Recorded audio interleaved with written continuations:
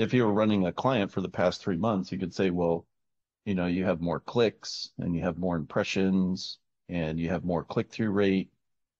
Uh, even if the average position is down, average position can be down because all of these things usually give you more keywords to the website.